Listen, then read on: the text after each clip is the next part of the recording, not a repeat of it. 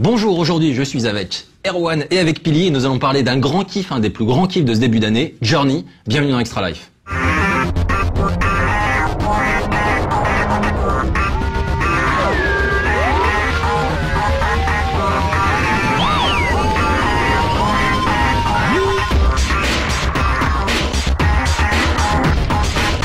on va commencer tout de suite cette émission par préciser quelque chose. Si vous n'avez pas joué à Journey, arrêtez de regarder et euh, installez le jeu sur PS3 si vous avez la chance d'avoir une PS3. Sinon, allez chez un pote qui a une PS3, faites-lui installer le jeu sur sa PS3 et ensuite jouez-y. Et euh, parce que c'est vraiment fantastique. Et, et, cette émission va vraiment aborder le jeu de façon globale. On va parler de la fin, etc. Donc on, vous allez être spoilé à mort si vous ne coupez pas tout de suite si vous n'avez pas installé Journey. Voilà. Et ensuite, autre chose, l'idée là, ce n'est pas de, de faire un, un, débat genre pro anti-Journey, ça on s'en fout complètement. Nous, Journey à la rédac, on l'a vraiment adoré. Et donc on, on part du principe que c'est un super jeu et on va justement partager nos, nos expériences un petit peu parce que c'est ce jeu-là, tout est question d'expérience justement. Et donc on va commencer par toi, Erwan. Est-ce que tu veux nous parler un petit peu de la manière dont tu, euh, tu as découvert Journey? Donc Journey, j'imagine que toi, t'en avais entendu parler avant, etc. Donc, ouais, tu... oui, bah en fait, euh, comme euh, comme tout, toute personne euh, qui aime les jeux vidéo, euh, en tout cas qui avait essayé les productions précédentes de Genova Chen et de That Game Company, euh, Flow, bon Flow qui était euh, très expérimental, hein, euh, c'est qui avait commencé en Flash, qui avait débarqué après sur sur le PSN, un des premiers jeux pré présents sur en téléchargement sur la PlayStation 3. On était on était dans, dans, dans le pur expérimental, dans l'expérience où il fallait faire grossir cette espèce de bactérie un peu étrange. Euh, et, et, puis il y a eu, euh, la, pour moi en tout cas, une claque qui était euh, qui était Flower, hein, qui, qui, était vraiment vraiment quelque chose de, de une, vraie une vraie claque parce que bah, on en reparlera je pense mais c'est il y avait ce mélange d'expérience esthétique de fête parce que c'était beau et bah c'était un vrai jeu. C'était un vrai jeu. Et en plus c'était un des rares vrais jeux qui servait intelligemment du 6 axis de la PS3, c'est-à-dire qu'on n'avait pas vraiment de bouton, il y avait juste le bouton pour avancer. Et, et voilà on naviguait. Et voilà moi j'avais une belle expérience avec Flower euh, que j'avais fait euh, bah, comme beaucoup de gens deux trois fois euh, quatre fois. Et, et c'est vrai que du coup j'attendais un peu mécaniquement Journey. Alors bizarrement un, avec un soupçon de crainte quand même parce que il y, y, avait il y avait l'aspect très esthétisant quand même de, de Flower qui était là. Il y avait les images qu'on voyait de Journey. On voyait ces petits bonhommes dans le désert. Et euh, je dis ouais c'est encore très beau c'est encore un vrai choix euh, visuel euh, et tout ça mais est-ce qu'il a, est-ce qu'il a vraiment réussi? Est-ce qu'ils ont réussi? Parce qu'il n'y a pas que Genova Chen, hein, il, y a, il, y a, il, y a, différentes personnes, il y a toute une équipe à That Game Company. Est-ce qu'ils ont réussi à garder ce côté euh, on, on, fait de l'expérience, on fait du concept, mais on fait aussi un jeu vidéo.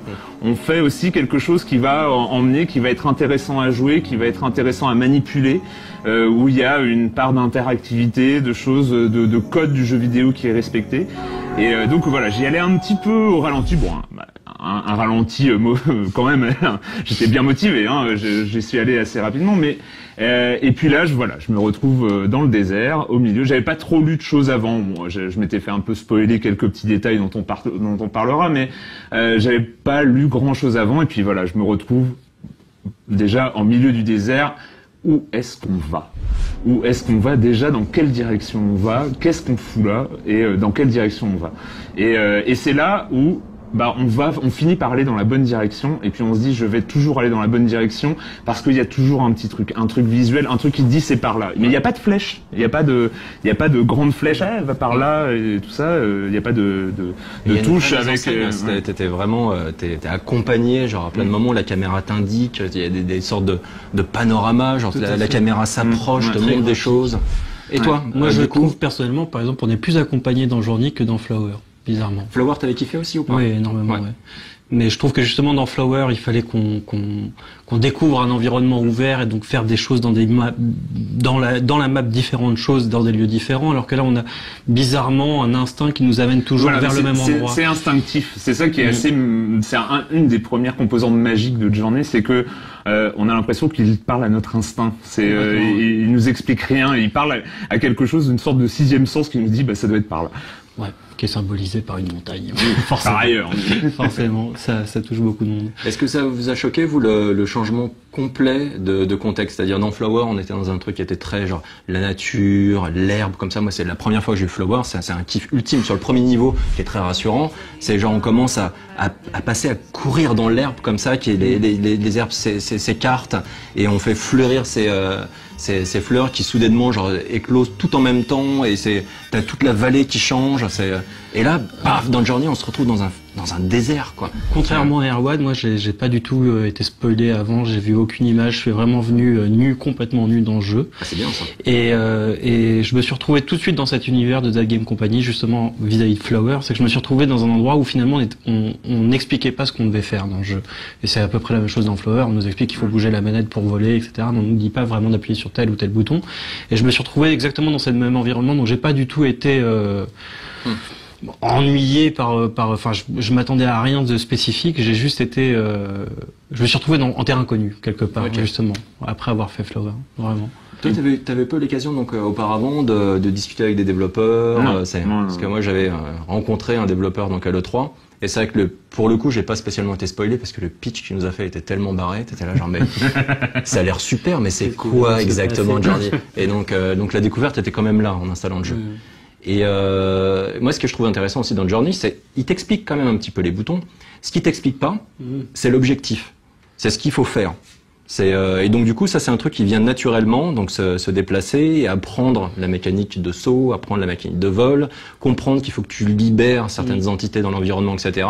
Et petit à petit en fait tu, tu finis par euh, par comprendre ce qu'on attend de toi entre guillemets. Et ce qui est super intéressant d'ailleurs dans un, un monde où les, les joueurs commencent à regretter justement de manquer de manuel comme à l'ancienne époque, de voir cette manière de qui est même pas un tutoriel, qui est juste on, rentre directement dans le jeu, c'est vachement intéressant de, de voir cette approche qui est quand même assez nouvelle. Et il y a beaucoup de nouveautés quand même dans le jeu, faut Mm. pas, pas se leurrer, c'est quand même un grand pan du jeu vidéo qui vient de s'ouvrir, euh, qui, est, qui est vraiment nouveau à mon Mais sens. il y, a- il y a des nouveautés, mais en même temps, ce qui est très intéressant, et, et surtout dans les débuts de journée, c'est que finalement, on retrouve un classicisme réel dans les codes de jeux vidéo.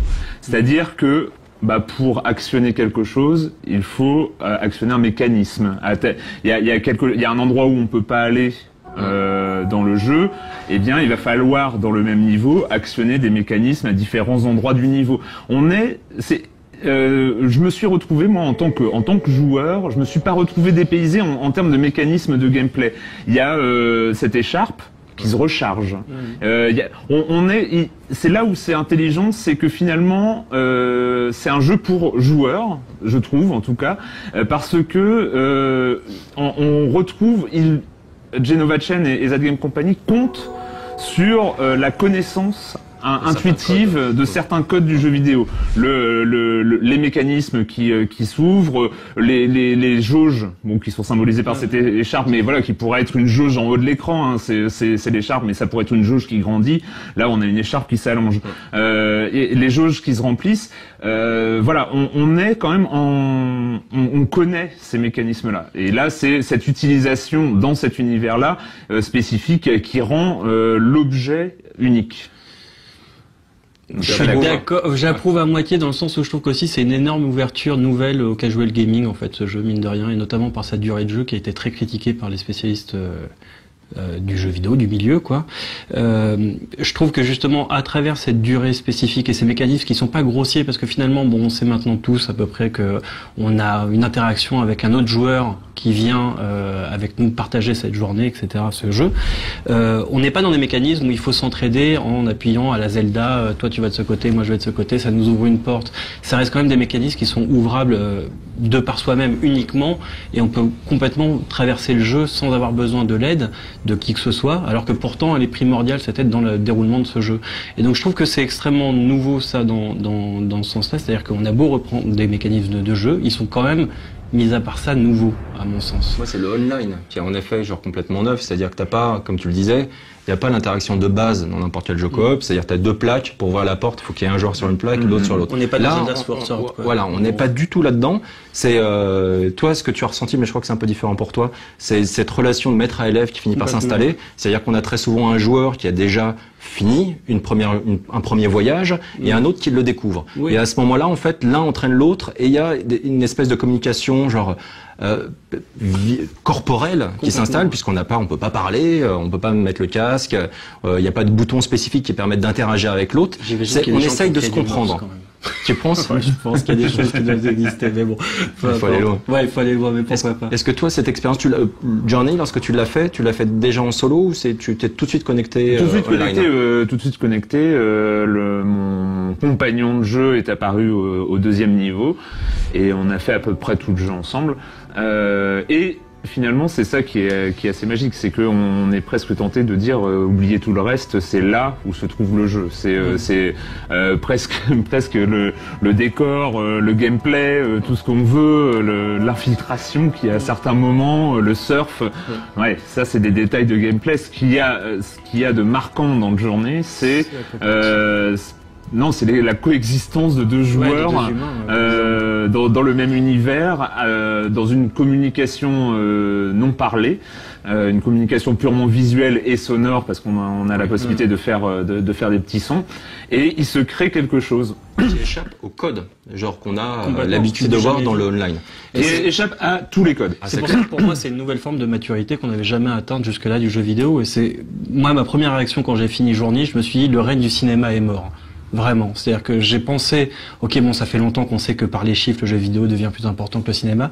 Mais là, je me suis senti pour une fois euh, face à un objet où je me suis dit, le cinéma ne pourra jamais le retranscrire, qui est donc le, le média le Ouais. plus à la mode en ce moment. T'as t'as ça quand même, bon, pour moi, genre l'expérience de salle. C'est-à-dire quand tu, euh, tu vas voir un Terrence Malick, par exemple, tu vas voir la ligne rouge, t'es dans ta salle, tu te prends ta grosse claque et tu sens les gens autour de Ouais, toi qui, euh, qui vibrent de la même suis- je suis façon. Je suis C'est- pas là pour renier le, cinéma ou, ou- ou ce qu'on peut euh, sentir émotionnellement à travers le cinéma.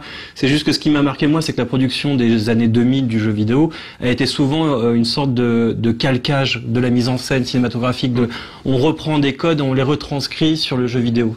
Là, le celui-là, il retranscrit une seule chose du cinéma finalement c'est la durée qui a été longtemps euh, euh, euh, étudiée pour savoir combien de temps des gens peuvent rester devant un écran sans décrocher etc et c'est pour ça que pour moi journée ça- la durée de vie même du jeu est une grande force et non pas une critique qu'on peut faire ou en tout cas c'était tout simplement, et, et il faut le dire, euh, voilà, parce que peut-être que malgré tes avertissements, il y a des gens qui n'ont pas encore joué, qui nous, qui nous regardent.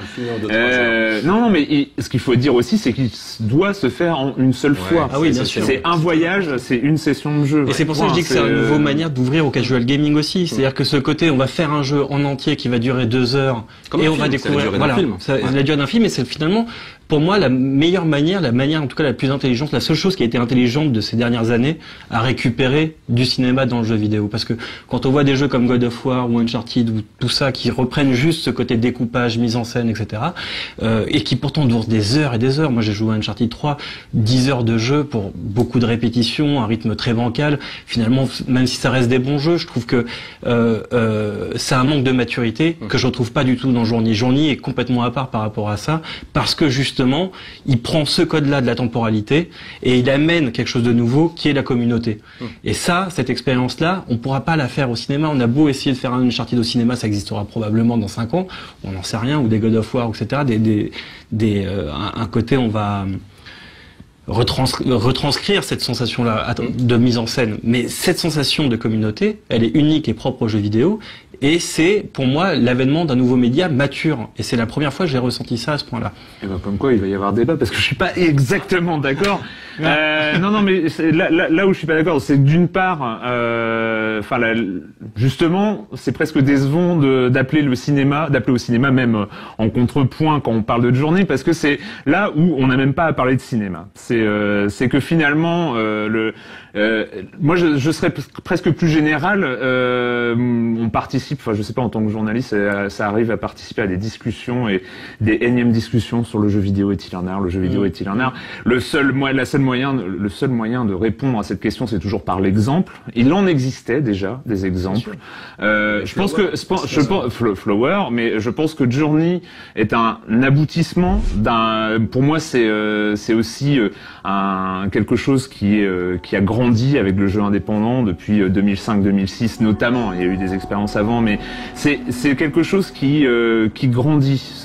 cette manière, cette volonté de, de voir le jeu vidéo autrement. Et, et je trouve que que Journey amène la preuve que euh, que le jeu vidéo là-dessus je suis d'accord est, mature. Euh, mais je vais essayer de, de, retrouver le fil de ma pensée. C'est pas facile c'est pas facile avec euh, avec avec ce genre de débat mais c'est que je, je trouve qu'il y a il y a juste je suis pas persuadé que ce soit une marche. C'est une œuvre je suis pas persuadé que ça va donner. Enfin, quand tu dis une marche, ça voudrait dire qu'il y a un avant, un, un après. je pense, que, euh, je pense que pour moi, à la limite, ce que ça montre, c'est que aujourd'hui, euh, ce que ça montre, ce que ça continue de montrer, parce qu'il y en avait d'autres. Aujourd'hui, il y a des artistes dans le ah jeu vidéo. Et euh, pour moi, Journey est une œuvre. l'œuvre de, de, de, Game Company, à travers les trois jeux, on voit bien qu'il y a quand même une entité qui, qui reste mmh. et euh, c'est un vrai suivi. Donc, une euh, cohérence. il y a une patte, il y a une mise en scène. C'est comme s'il y avait un réalisateur derrière. On est obligé de sentir que c'est un peu le même studio, quoi. Mmh. C'est impossible de voir autrement. Mais pour moi, c'est plus l'œuvre de Z Game Company. C'est un chef-d'œuvre. C'est le, mmh. le chef-d'œuvre aujourd'hui de, de Z Game Company. Après, je ne pense pas que, euh, enfin, j'ai pas du tout envie de voir euh, naître des Journey-like. mais, mais, euh, mais et, et, et, je trouve que c'est très très difficile. Ce qu'il a fait, est d'une complexité sous une apparence très très simple. Hein. Voilà, on rappelle un, un, personnage, enfin deux personnages dans des décors euh, hyper minimalistes, magnifiques, hein, mais euh, pas, magnifiques par leur ampleur, mais quand même on est on est on est dans des décors minimalistes. Euh, cette interaction euh, très subtile entre deux personnes. alors je me demande comment a été fait le bêta test du truc, parce que ce qu'il faut bien se rendre compte, c'est que moi, je sais pas qui est la personne avec qui j'ai fait mon, premier voyage et euh, qui a été une, une expérience euh, phénoménale. Ça se trouve, c'est ce gamin que je déteste dans Call of Duty. Bah ça se trouve, c'est les mecs qui t'insultent au casque quand tu rates euh, quand tu rates un, un, tir euh, dans Battlefield 3. Ça se trouve, c'est ces crétins-là que tu supportes pas, ces, ces, ces gamers euh, compulsifs de FPS qui, qui, qui hurlent sur le Xbox Live Arcade, sur le Xbox Live. et ça se trouve, c'est lui ça se trouve, c'est lui qui était en train de m'accompagner dans le journée, mais par euh, ce design d'une subtilité complètement dingue, bah voilà, ce, cette même personne a été capable de faire une expérience quand même humaine, une expérience euh, visuelle, une expérience sensorielle avec moi pendant trois heures, deux, trois heures, et, et, et je pense qu'on est face à un truc hyper complexe. J'arrive pas, toujours pas à déconstruire le mécanisme qui, est super rigolo en plus, c'est qu'on est sur un thème hyper complexe, mais sur un thème déjà éculé finalement, quel que soit le média mm. qui a été utilisé, et c'est ça intéressant et c'est pour ça que je trouve que c'est vraiment une maturité nouvelle qui n'a pas été créée jusqu'à présent en jeu vidéo. Donc effectivement, cette maturité, c'est marrant parce qu'elle passe réellement par la dimension online. C'est-à-dire moi le jeu, ah oui, je l'ai fait, je l'ai fait ma première partie, j'ai fini le jeu seul. Mm. Donc là, je me suis pris ma petite claque grâce à la grâce à la mise en scène, grâce à le, travail sur la sur la lumière. C'est le, le, jeu rend très bien certaines sensations comme la glisse, le vol, etc. Mm. Et puis tu as tout ce voyage qui, euh, qui, qui commence à se durcir au bout d'un moment. Et, euh, et c'était vraiment, je me suis pris une grosse claque. C'est euh, limite la larme à l'œil à la fin. Et quand j'ai recommencé le jeu avec quelqu'un, là, la dimension était complètement différente. Et soudainement, j'interagissais comme je n'avais jamais interagi dans un jeu vidéo auparavant avec quelqu'un. Alors, tu dis, tu parlais de l'histoire, c'est un, du jeu vidéo. Donc, avec le côté, il y a des artistes dans le jeu depuis bien longtemps. Mm. Moi, je pense à Eric Chahi pour World. On peut penser également à Fumito Ueda avec, euh, avec Ico chez The Colossus. malheureusement. bon, pas de Vadia Compagnie, on en parlera peut-être à la fin de l'émission. C'est pas gagné non plus hein, pour la boîte. Non, c'est sûr. Et, euh, et en fait, tous ces jeux-là étaient des jeux solo. Et donc, euh, donc du coup, j'ai retrouvé certains codes, une certaine euh, façon de faire propre au jeu vidéo pour la, quand j'ai vécu mon expérience seul. Mais quand je l'ai vécu avec quelqu'un d'autre, là, soudainement, tout changeait. Tout changeait et là, pour le coup, c'est vraiment complètement neuf. C'est comme faire un Nico à deux. Voilà, voilà c'est, ouais, ça serait intéressant. Et d'ailleurs, on va faire un truc qu'on n'a encore jamais fait dans Extra Life. On va faire une petite pause et on va écouter un témoignage. Donc le témoignage de Mathilde qui va nous raconter un petit peu ce qu'elle a, ce qu'elle a vécu, une expérience justement euh, basée sur cette interaction avec un autre joueur. Bon bah bonjour à tous, salut Thierry, salut Erwan, salut Philippe. Alors voilà ma petite anecdote. Euh, J'allais chez un pote, euh, il m'a fait jouer à, Journey, donc première expérience.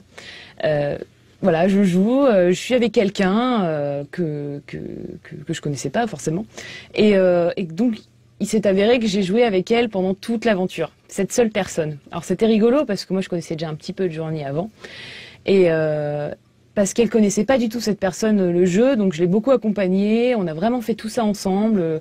Genre quand elle y arrivait pas, elle arrivait pas à, faire quelque chose, moi je l'aidais. Donc vraiment très très belle expérience. On était très très soudés.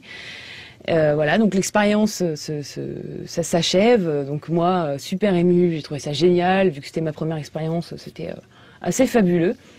Et donc ce qu'il faut savoir, c'est que à la fin du jeu, euh, les, pseudos s'affichent au générique, savoir avec qui on a joué. Donc là, bon, bah, il s'avérait que j'ai eu qu'une seule personne. Et euh, je reçois un message, genre 5-10 minutes après, euh, de quelqu'un, enfin de cette personne-là, donc en anglais. Et elle disait, voilà, euh, j'ai fait jouer ma petite amie. Euh, au début, elle a cru que, que, tu étais une intelligence artificielle. Et, et, euh, quand je lui ai dévoilé que tu étais vraiment une personne, elle s'est mise à pleurer. Donc on te remercie d'avoir été patiente et de l'avoir aidée. Ça a été vraiment une superbe expérience. Merci à toi et tout, etc. Donc moi, en voyant ce message, forcément, j'étais bouleversée. Ça m'a vraiment touchée énormément, encore plus que d'avoir fait ce voyage. Enfin bon, ça a été vraiment la lue. J'ai jamais vécu ça. C'est fou, quoi. Voilà. Voilà ma petite anecdote. Donc ça, c'est aussi euh, ce qui rend un projet comme Journey merveilleux, c'est la possibilité d'avoir ce type d'histoire. Mm. Donc on a, euh, c'est complètement unique le fait de pouvoir, euh, et là c'est d'autant plus fort que la personne a cru que c'était une IA, mm. n'a pas compris tout de suite que c'était un autre joueur. Et donc ça démontre à quel point cette interaction avec quelqu'un d'autre est complètement neuve. Moi la première fois j'étais j'étais perturbé, c'est-à-dire j'ai fait une saisie, mm. genre pour le jeu où je jouais avec quelqu'un et j'ai eu un mal de chien à quitter la partie. J'étais là, mais, je vais pas je vais pas l'abandonner. je vais pas le laisser seul. Et là, on retrouve en fait le, ce qui faisait un petit peu une des forces, une image qui est quand même typique de, de Ico, c'est le moment où le, le pont s'écroule et on, on attrape la main de, de, la jeune fille. Et ça, c'était un réflexe qui était très très fort. Et là, on, on le vit réellement avec quelqu'un d'autre. Et euh, je trouve ça magique, quoi. Et c'est euh, ça, c'est neuf. Et ce qui est, ce qui est, ce qui est, euh, moi, l'aspect le, le, le, plus, enfin, je vais peut-être me répéter, mais euh, c'est que l'expérience multijoueur est une expérience. Enfin, quand on prend deux êtres humains, normalement, il y a des fois ça marche pas. On le sait. Hein. C'est compétitif. C'est très souvent compétitif en fait. Et là, c'est pas, c'est pas du tout l'idée. Mais, mais et il arrive, il arrive. On a tous déjà eu des expériences multijoueurs exceptionnelles. Une partie, même une partie de, de FPS en coop. Euh, si on tombe exactement sur les bons joueurs, où on a une osmose qui se passe dans l'équipe, on a des expériences extraordinaires en FPS. Sauf que, Sauf que bah, s'il y a une personne qui fait pas ce qu'il faut au bon moment, euh, si il y a une communication qui passe pas, si il y a quelqu'un qui est pas dans le même état d'esprit, paf, ça passe, ça passe plus. Et là, il y a ce, ce, ce truc où presque l'entente est prévue dans le gameplay. Tout à fait, parce que euh, ça rentre dans la narration complètement. Et c'est la première fois aussi qu'on voit ça, parce que jusqu'à présent c'était effectivement, comme tu dis, un FPS, donc on, on a un objectif qui est, qui est fixé, etc. Là, on est ou quelqu'un qui est déjà dans le secret et qui fait découvrir à l'autre ou l'inverse, etc. Mais c'est dans le cadre d'une narration spécifique, et ça aussi c'est complètement nouveau à mon sens. En fait, tu parles de FPS, on peut parler aussi de MMO. Et donc euh, très souvent, donc le MMO, donc c'est du jeu de rôle, donc en ligne. Et donc dans le jeu de rôle, il y a la, dimension roleplay qui est souvent mise de côté. là, en fait, avec Journey, en nous enlevant tous les moyens de communiquer avec l'autre joueur, mm. on est automatiquement dans le roleplay. On est automatiquement, on joue le rôle qu'on nous a attribué, donc celui de ce pèlerin qui est, qui est seul et qui essaye d'avancer et qui va aller jusqu'au bout de son voyage et donc qui, sera accompagné par quelqu'un. Et on est obligé, en fait, de, de, de, respecter les intentions des développeurs parce qu'ils nous ont enlevé tout moyen de faire autrement. Mm. Et je trouve que c'est euh, intéressant. Euh, et, et, et, ce qui est aussi intéressant dans le journée, c'est que euh, c'est que c'est un jeu vidéo qui qui fait partie de son histoire du jeu vidéo c'est euh, Journey n'aurait pas pu apparaître il y a 5 ans, n'aurait pas pu apparaître il y a 10 bah, ans. Journey, Journey est, a hérité de l'histoire du jeu vidéo. On n'est pas euh, Genova Chen va pas faire comme un autre designer français euh, qu'on connaît qui va dire tout le reste du jeu vidéo c'est de la merde, il y a que mes œuvres à moi qui euh, je, je, suis un auteur il va, il, il, a, il hérite du jeu vidéo. Il, il assume son héritage.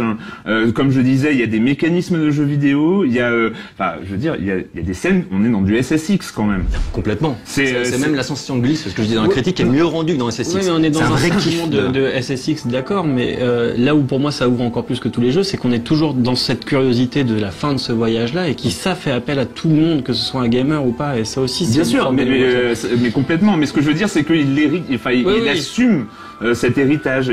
C'est Journey, c'est voilà, c'est un jeu de 2012, euh, mais qui est euh, qui est la suite de 40 ans d'histoire du jeu vidéo. Mmh, voilà, c'est il y a, y a, on est vraiment dans un jeu, dans la continuité du jeu vidéo. Et ça, c'est et c'est une œuvre. Et voilà, le jeu vidéo permet de faire ça aujourd'hui. C'est euh, là-dessus, c'est assez. C'est ultra rassurant. Ah oui, mais on va, on va s'écouter un, un, autre petit témoignage pour vous montrer à quel point le, le jeu est fantastique. C'est que même les bugs deviennent poétiques. Oui, euh, il y a quelque chose qui m'est arrivé. Il y a eu un bug. Euh, en fait, euh, ce qui est important dans le journée, c'est la, la, relation qu'on entretient avec euh, l'autre joueur euh, qui, est, qui est en ligne. Et ça faisait plusieurs niveaux que je faisais d'affilée avec un joueur. On avait vraiment établi un, limite un système de communication. Quand il y avait quelqu'un qui voyait quelque chose, on allait le rejoindre. Il y avait vraiment un échange qui se faisait et on allait bientôt passer à, à, un niveau suivant qui se passe en fait en, dans les sous-sols. Et juste avant de passer la porte, on, visitait la zone et jusqu'à un moment où on, voit une petite, euh, une petite surface rocheuse, on se dit on va essayer de monter, voir il y a peut-être quelque chose de caché. Et d'un coup, je, je vois plus mon partenaire. Et euh, je me demande où est-ce qu'il est. Comme ça, je commence à chercher, à l'appeler avec les petites bulles, euh, et au loin, je, vois sa petite loupiote. Et je fais, mais où est-ce qu'il est? Je le vois pas physiquement. Et en fait, il était passé à travers la roche et, euh, et donc, bah, il, était, il était bloqué. Et pendant plus de 5-10 minutes, on, est, on essayait de chercher, je le voyais se déplacer parce qu'il faisait son petit cri, donc on le voyait à travers la roche, mais je le voyais pas lui physiquement. Donc on le voyait essayer de grimper, machin, on essayait de, de trouver un moyen de, de, refaire un bug pour le faire ressortir. Et, euh, au bout d'un moment, bah, on s'est rendu compte que bah, c'était fichu, ça marchait pas. Et ça a été un déchirement quand bah, je me disais je vais avancer, je vais passer au niveau suivant, je serais obligé de le laisser là et je le voyais au loin en train de limite les, petites euh, les petites bulles ça, faisait comme s'il pleurait moi je lui répondais au loin oui oui c'était vraiment un, déchirement un vrai déchirement de passer à un niveau suivant et de le, laisser là quoi en plan donc là, c'est quand même une anecdote magnifique qui, qui permet de, comprendre à quel point Journey est un, est un titre différent. Et maintenant, on va parler un petit peu de nos expériences à nous. Vous, comment vous avez ressenti cette fin? Puisqu'on vous a prévenu, on va spoiler. Genre la toute euh, fin, les, les, les dernières la, secondes la fin, les... le, le, moment où tu, où tu grimpes et que tu avances comme ça, genre difficilement, et, et tu es dans, dans le blanc total, et soudainement, tu tombes. Moi, alors moi, c'est moi, je l'ai vécu bizarrement la, la, la, première fois parce que euh, j'ai pas vécu euh, j'ai vécu comme, euh, on va dire, un, un, un, professionnel du jeu vidéo, que c'est mon boulot. Ah, euh, de le recul. Non, mais c'est, ouais. j'avais une banane. Mm. J'avais une banane. Je me suis dit, oh putain, qu'est-ce qu'il est en train de faire? Qu'est-ce qu'il est en train de faire avec cette fin là Mmh. Qu'est-ce qu'il nous fait mmh. euh, Alors oui, peut-être si j'avais été joueur sans, sans cette volonté d'analyser le truc dans le contexte du jeu vidéo, euh, ça m'aurait vraiment troublé et je ressentais cette émotion-là. Mais cette émotion-là me faisait sourire à un point. J'étais là, waouh mmh. Ah ouais, il y a un truc qui. J'avais l'impression de vivre une étape presque du jeu vidéo en live et j'étais trop content. J'étais trop content pour le jeu vidéo presque. Enfin, c'était une, une, émotion très étrange hein, là-dessus. Moi, c'était ma prise de conscience parce que je trouve que ce genre de fin, on l'a déjà eu avec Shadow of the Colossus, par exemple, qui reprend exactement le même mécanisme. Mais le fait d'être accompagné, c'est complètement décuplé. Mmh. Alors, j'avais l'impression d'être euh, dans une sorte de Derzouza là, tu vois, mmh. en train de, de braver euh, les, le les froid éléments, et les éléments, et puis en même temps d'être dans le Seigneur des Anneaux, en train de gravir cette montagne sans fin. Et puis, ce côté, j'ai déjà vu cette fin, mais là, il y a une chose complètement nouvelle, et j'ai mis tout ça ensemble. Je me suis dit, mon Dieu, c'est un nouveau truc qui s'ouvre, et ça va être énorme. Est-ce que vous voyez comment, vous, maintenant, on va conclure l'émission, l'après Journey donc sachant que aujourd'hui, donc vous le savez euh, maintenant, donc Company, euh, visiblement c'est un mm. studio qui explose. Donc euh, Kelly Santiago, qui était la, la mm. cofondatrice du studio, est partie. Euh, donc a priori, euh, genre, euh, bah, les, il y a un certain nombre de designers qui sont partis également. Genovation va se retrouver un petit peu seul. le deal avec Sony se termine. Donc il faut savoir comme Journey, c'est pas que Bad Game Company, il y a aussi le studio de Santa Monica de, de, Sony qui a apporté mmh, énormément de choses, qui fait que l'expérience est si agréable. C'est du 60 images par seconde, les, les effets, la mise en scène, c'est vraiment c'est fluide, c'est magnifique. Tout ça, ça nous emporte. Et bah, l'air de rien, c'est de la technique derrière. Mmh. Et ces outils-là, ce moteur-là, potentiellement, ils l'ont plus. Donc euh, là, tu disais, avais peur des Journey-like, mais je pense que là, pour le coup, Game Company pourrait plus faire de Journey. Aujourd'hui. Après, il y en aura, il y en aura d'autres. Je pense que Jo- euh, Journey est aussi, je vais encore me répéter pour la deuxième fois, mais c'est c'est c'est c'est qu'une étape.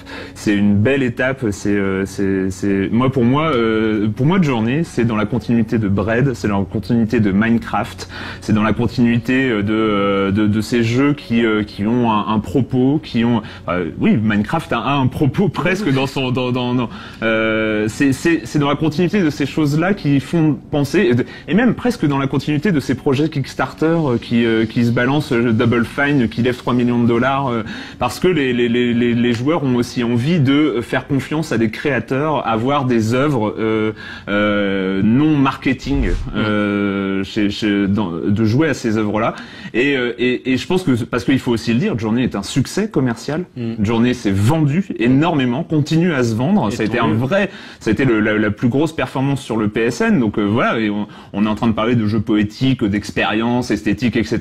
Mais c'est un succès commercial. Ça veut dire que le public est là. Et ça veut dire que le public est là. Et là, on Et qu'il y a voilà. un nouveau public aussi. Et ça, je pense que c'est Mm. important parce que moi, je connais plein de gens qui en ont parlé à leurs parents et qui maintenant, leurs parents, pour la première fois, veulent jouer. Et ça, ça dépend aussi de cette durée de vie nouvelle. Et je pense que cette durée de vie, par contre, ça va devenir une forme de standard, comme une sorte de court métrage du jeu vidéo. En tout cas, je l'espère. En même temps, euh, sur des, voilà, mais sur des titres PSN à, à, euh, à, disons à moins de 15 euros, ça, ça se comprend. Enfin, c'est quelque chose qui est pas non plus euh, Moi, rébarbatif. moi, je pense euh, que c'est le, plus- le, le- le point fort de ce jeu. Hein. C'est pas une, c'est pas un point faible loin de là. Quoi. Non, non. Et je pense que c'est une mauvaise idée de se dire que que euh, un jeu vidéo maintenant doit être déterminé par sa durée. Je crois que c'est un vieux truc de gamer. D'ailleurs, avant, il n'y avait pas de durée de vie. C'était dans les années 90, c'était dû à une difficulté. Le jeu, quand tu le faisais en entier, un shoot 'em up, ça prenait deux heures. Une fois que tu le maîtrisais, c'était la difficulté qui donnait cette durée de vie. Dans les années 80, 2000, avec cette narration justement issue du cinéma, ça devenait genre 10 heures, 15 heures, un nouveau standard. Et on s'est enfermé un peu dans ce carcan. Journée nous donne une vraie, euh, un vrai appel d'air par rapport à ça, moi, je trouve. Et je trouve ça super important Ça- parce que ça- sachant que la durée de vie de journée, euh, c'est pas 3 heures ou 2 heures, Ouais, c'est c'est- euh, c'est 12, bah 15, oui, bien sûr. 20, non, mais euh, juste par rapport au voyage. Mais un bon film qu'on regarde, Exactement. qu'on enchaîne. C'est un, c'est un jeu qu'on peut quasiment enchaîner. On le fait, on se prend sa claque et là on a envie de recommencer tout de suite. Et ça m'est arrivé rarement, mais ça m'est déjà, déjà arrivé avec des c'est films. vraiment C'est un- tout public. Mm.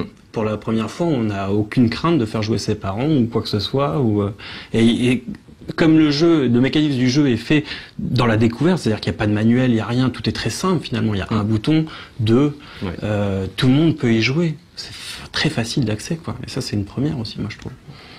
Bah voilà, moi j'espère que bah, on vous a pas trop spoilé, mais on vous avait prévenu au début. Et puis donc essayez, euh, si vous n'avez pas encore fait l'essai avec Journey, d'appuyer sur le bouton Select. Comme ça, petit tips. C'est un truc intéressant. C'est pas précisé, c'est une des choses justement savoir avant la porte blanche à la fin, c'est vraiment très classe. Merci beaucoup d'avoir participé à cette émission. Puis merci, Merci à Vadian. Company de nous avoir offert ce- cette petite merveille. Donc on espère que Generation pourra bah, nous offrir d'autres expériences et puis d'autres développeurs également. euh, des expériences justement travailler peut-être pas uniquement sur le solo, mais sur cette dimension de multijoueur nouvelle. Donc qui est vraiment le plus gros apport pour moi de Journey. Et puis on se retrouve très bientôt pour un prochain Extra Life.